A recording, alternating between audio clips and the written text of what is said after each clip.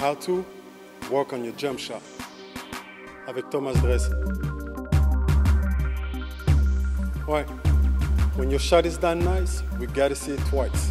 Voilà pourquoi on était obligé de ramener Thomas Dress. Et regardez comment il développe son shot. C'est tout simple. Obligatoirement, au premier shot, il faut les prendre près de l'arceau. On voit un petit peu la manière de laquelle Thomas, lui, sans se cuire, se rapproche de l'arceau. Ses mouvements sont assez simples, mais ce sont toujours les mêmes mouvements qu'il répète. C'est tout. Vous prenez 200 shots, il faut en prendre 400. Il faut prendre 400 shots par jour. Si vous avez l'opportunité, allez en prendre 600. Eyes on the target. Catch the ball. Le focus, c'est entre vous et l'arceau. Le défenseur, il est obsolète. Pourquoi? Parce qu'à la fin, vous allez tellement répéter le même mouvement que vous pouvez prendre le même shot les yeux fermés. Cet échauffement étant fini, on voit comment Thomas maintenant s'écarte, recule un petit peu. C'est un concept qu'on connaît tous. C'est ce qu'on fait depuis qu'on est tout jeune dès qu'on touche le cuir. Around the world. D'où on répète le même shot en tournant autour de la raquette. Chaque fois regarder l'importance aussi du rythme de la passe. C'est crucial, surtout si vous avez l'opportunité de shotter et d'avoir un rebondeur. Se concentrer sur le rebond.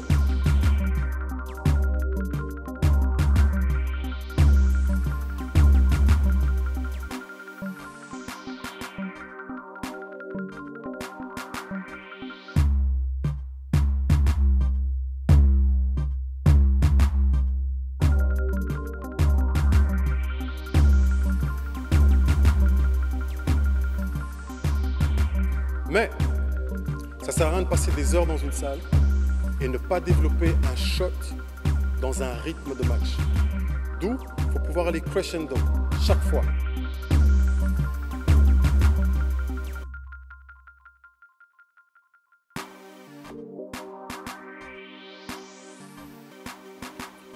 De l'autre côté, il faut pouvoir alterner 2 points, 3 points, 3 points, 2 points.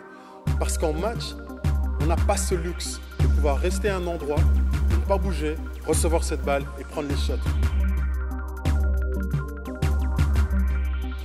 L'une des clés du jump shot, c'est votre footwork. Regardez chaque fois le positionnement. Comment est-ce que Thomas reçoit cette balle? Quel est son pied d'appui? Quel est son pied qui lui permet de se mettre en mouvement?